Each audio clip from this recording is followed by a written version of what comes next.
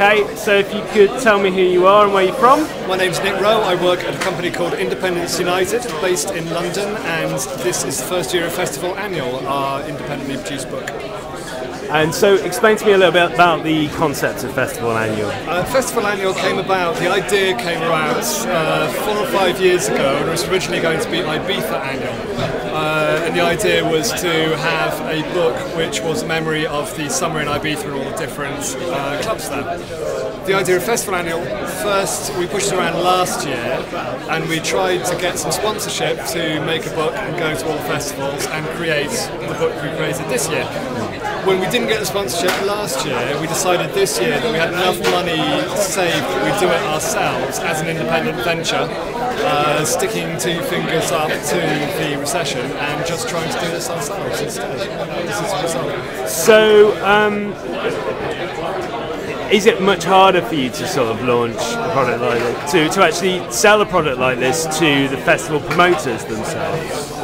Uh, or, or was that never anyone you were expecting to take revenue from? That's, I guess, my question. I think the festivals have been very happy because we've got we went to 21 festivals in 96 days, and every festival that is in the book, from Glastonbury to Shambala to the Electric Picnic, however big or small, were really happy, and they said, yes, you can do this depending on the festival, some let us collect email addresses on site, give leaflets out to people. Some didn't want us to do it on site and only do it in the campgrounds. Glastonbury didn't want us to do it at all, but were happy for us to go there and take photos and be in the book. It's free publicity for the festival, so I think they were very happy. Yeah. So, um, explain to me a bit more about the idea of user-generated content. How does that work? Uh, we've built this as the first user-generated book mm. on summer festivals. The idea is uh, we made our home on MySpace this summer, and we encourage people to become our friends to upload their photos to MySpace and then tag us Festival Annual in their photos. And then over a period of June to the first weekend was Isle of Wight, Download and RockNess. Uh, about the third week of June through to Bestival. Um, at the beginning of September, we received over 5,000 photos that were sent to us uh, online, or that people tagged us in online. Is there anything that you'd, you'd, you'd, change for the next festival annual? Is there anything you wanted to improve for uh, next year? it's a really good question. We haven't had that discussion yet. I think there are a lot of festivals that we would have loved to have included in the book, but it didn't make sense economically. The book is 312 pages, it weighs two kilograms, it's a chunky, proper coffee table book, and we didn't want to have too many chapters which were three pages or four pages or six pages. We really wanted to give a serious amount of space to the festivals this year, and it wasn't necessarily going to help us having two pages on a smaller festival somewhere. There's 21 chapters covered, which is 21 festivals. There'll always be different ones that we could do. I think this year, I think if there was one which I wish was in there, it would be Sonisphere. Uh, I'm not a metal fan, but pictures I've seen from it are amazing, and they're really passionate fans, like they were at Download, and that would be a great one to have in there. We didn't have the space, it's as simple as that. And uh, what um, would do you, do you, have plans in future? Is this an idea where you you you, you get stuff for free to begin with, and then you start paying photographers, or, or, or showing your appreciation to photographers? Absolutely. I mean, this was a very very low budget uh, book that we put together. I think it certainly taps into the idea or the concept of 15 minutes of fame. That if you have a photo and it's uploaded and we like it and it goes in a book, that's fantastic. And everyone who has a photo in the book, we've been in contact with.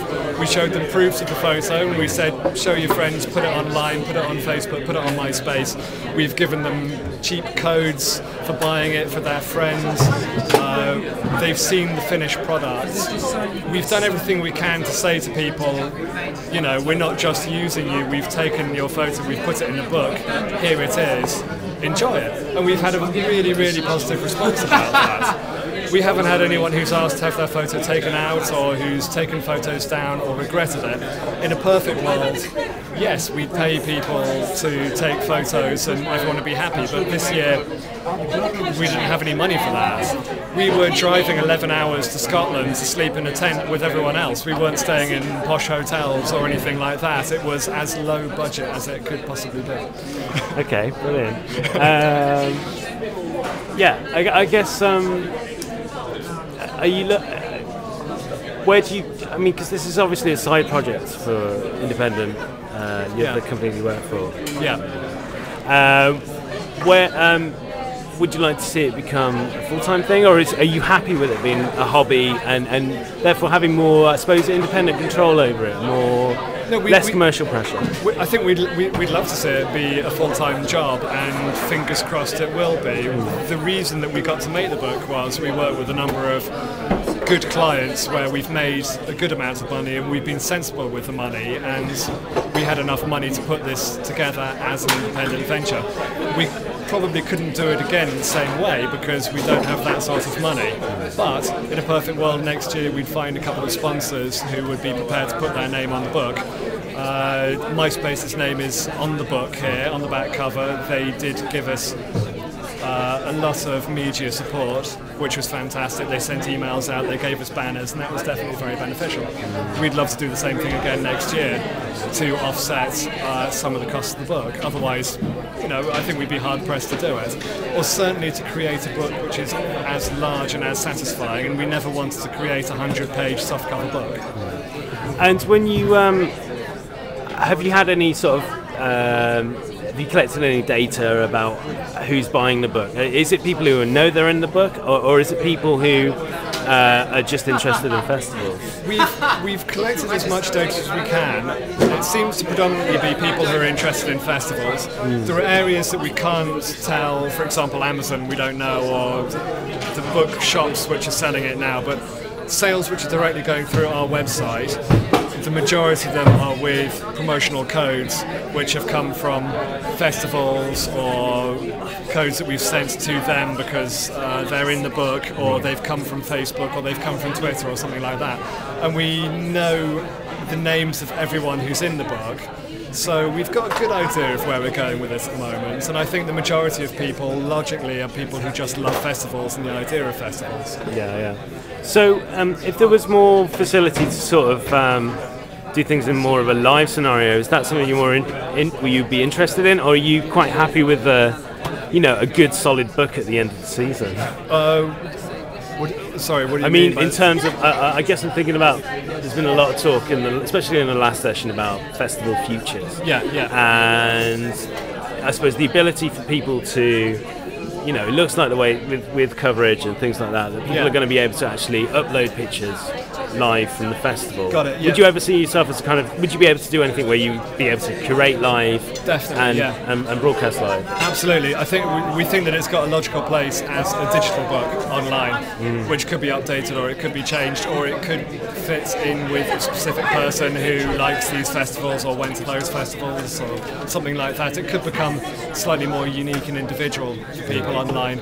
Uh, it has to live in the digital world, and I think the big question we've got for next year, if we do it again, is where our home will be and what we'll do. If we're going to stay on MySpace, if we're going to try something different there are a lot of opportunities. One of the reasons we went to MySpace, or we could have gone to Facebook, is social networking is for the most part free.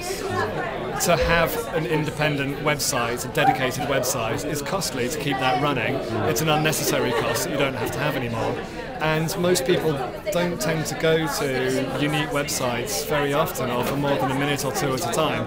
And we didn't want that to happen. We wanted it to be an ongoing project. So over the summer on MySpace, in the first six weeks we had a million views of photos online, which meant people were coming back again and again and again. That wasn't a million unique users. It was people who saw a festival and then the next week we'd said new photos up and they'd come back and they kept coming back and we did that for 12 weeks, 16 weeks in the summer. So digital is essential and yes, I think having something live can change, absolutely.